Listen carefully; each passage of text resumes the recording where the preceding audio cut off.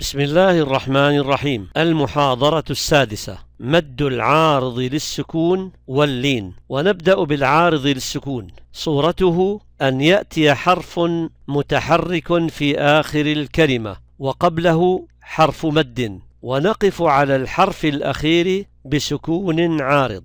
ومثاله الوهاب.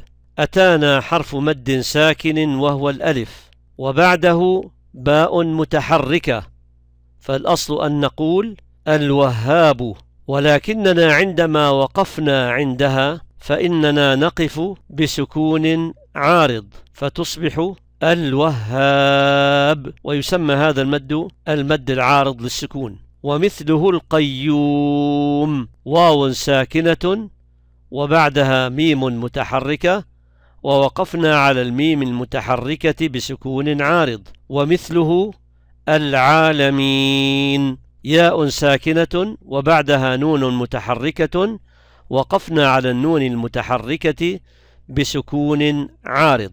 فنسمي هذه المدود بالكلمات الثلاثة مد العارض للسكون. ومقدار مده كما أسلفنا القصر حركتان التوسط أربع المد أو الإشباع ست حركات. وشاهده من التحفة قوله ومثل ذا إن عرض السكون وقفا كتعلمون نستعين. فضرب معنا مثالين تعلمون عند الواو نستعين عند الياء.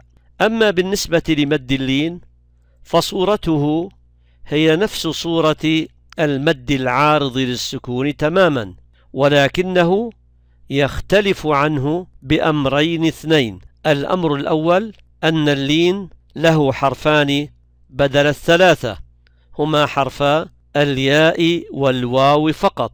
أما عند الألف فلا يعتبر لينا. والشرط الثاني أو الحالة الثانية لاختلاف اللين عن العارض أن ما قبل الياء والواو مفتوح دائما وليس بمتحرك من جنس حركتهما.